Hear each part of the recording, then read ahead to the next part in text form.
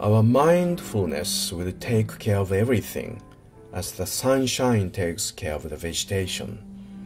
The sunshine does not seem to do much, it just shines on the vegetation, but it transforms everything.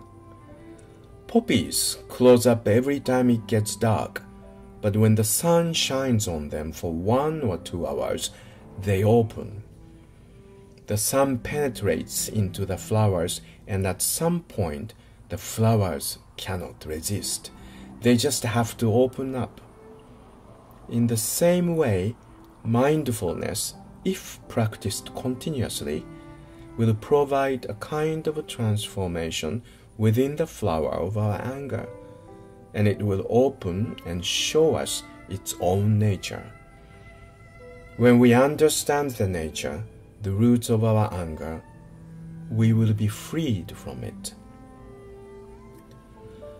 Mindfulness must be engaged.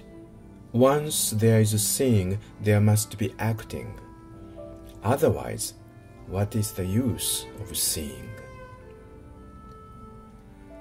Peace is every step. Shall we continue our journey?